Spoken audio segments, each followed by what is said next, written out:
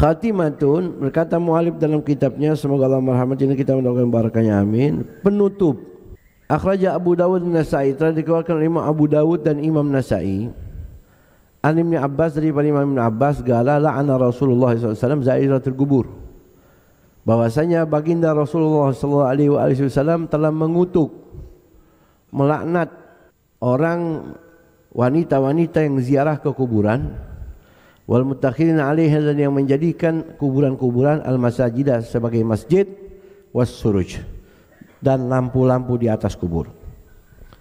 Itulah arti daripada hadis ini. Dan dari hadis ini nanti saya bahas. Wa muslimun daripada Imam Muslim La yajis ahadukum tidak seorang duduk salah seorang daripada kalian ala jamratin di atas bara api patah riga thiyabah hingga membuat membakar pakaiannya fatakulu soida jildi sampai uh, menjalar ke kulitnya. Khairun lahu min anjelisa ala gabrin. Itu lebih baik daripada duduk di atas kubur. Ini hadis pertama riwayat Imam Abu Daud dan Imam Nasai. Makna dan arti berbeda. Jadi ibu bapak di sinilah pentingnya pengajian nggak cukup kita ngaji di rumah. Mengaji matematika boleh kita sendiri. Belajar bahasa Latin boleh sendiri. Belajar ilmu dunia boleh sendiri. Tapi kalau agama nggak boleh. Harus ada gurunya. Yang gurunya itu belajarnya nggak sendiri. Dari gurunya. Begitulah bersambung mata rantai sampai ke sahabat dari baginda Nabi kita Muhammad SAW. Di sinilah pentingnya majelis ilmu. Dalam hadis ini Nabi mengutuk kalau ada perempuan ziarah kubur. Betul. Ini bahasa. Tapi bahasa arti dengan makna berbeda. Dari mana kau bisa berbeda, Beb? Ya dari pandangan para ulama ada tiga pandangan yang mengatakan makna hadis ini bukan perempuan nggak boleh ziarah. Kalau perempuan ziarah dilaknat itu ada tiga ulama.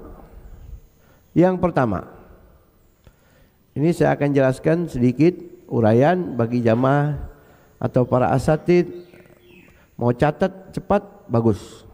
Kalau nggak kecatat bisa nanti dilihat di tayangan rekamannya. Yang pertama Imam Al-Manawi. Kata Imam Nawawi, hadis ini tidak berkaitan dengan masalah haramnya ziarah kubur, apalagi sampai dilaknat. Yang pertama dipahami hadis ini yaitu perempuan harus lebih banyak di rumah al qararu fil fil bait. Wa qarna fi buyutikun. Sebagaimana Allah berfirman dan wanita itu selayaknya lebih baik berdiam di rumah. Namun bila ada kepentingan ada suatu hal manfaat yang bisa diraih dia boleh keluar. Di antaranya ziarah. Bagaimana hadisnya dilaknat Kata Imam Nawawi, eh, kata Imam Manawi, ini hadis dilaknat wanita yang ziarah bila ziarahnya menyebabkan dosa. Maka dikutuk oleh Nabi, dilaknat. Contohnya an-nauh. Dia ziarah nangis teriak-teriak. Wan nadab sobek-sobek pakaian sehingga terbuka auratnya dan mengikuti tradisi jahiliyah. Wa ta'did menyebut-nyebut teriak-teriak tentang mayit atau perempuan yang masih e, muda jelita yang bisa memikat pria dengan kecantikannya tanpa mahram dia berziarah sendiri itu akan menyebabkan murkanya Allah maka Nabi pun mengutuk. Ada perempuan cantik masih muda ziarah sendiri kuburan wali yang ziarah di situ ada 300 laki-laki Bagaimana khusyuk nggak? Nggak jadi baca yasin yang laki-laki nontonin tuh perempuan.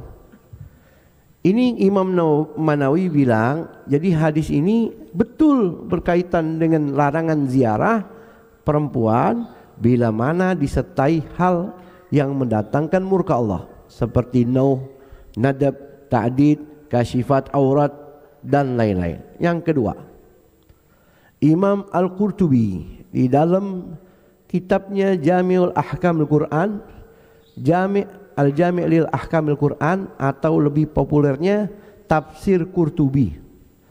Kata Imam Qurtubi, hadzal la'n yang dimaksud laknat dari Nabi ini lil mukthirat minaz ziarah.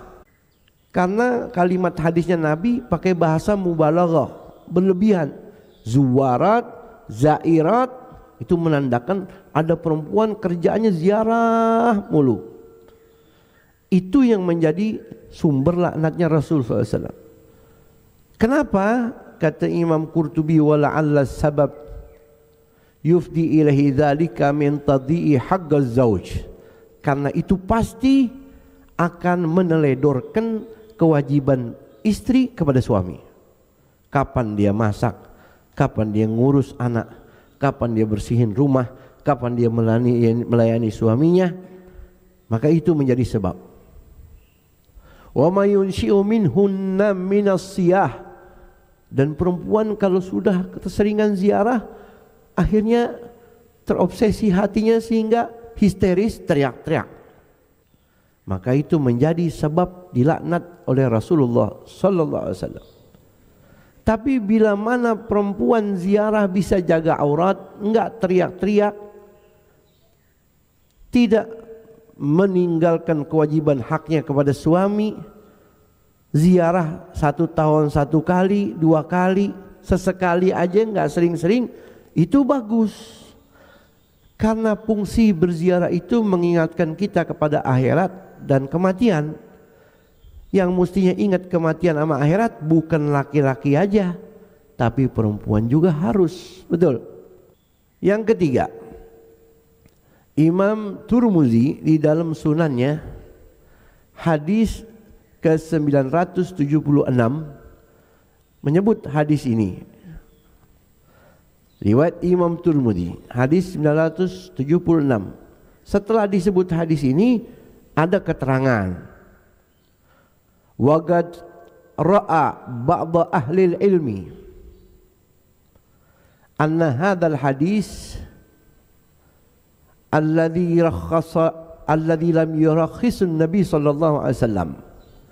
Hadis ini terbit sebelum Nabi membolehkan orang laki perempuan ziarah.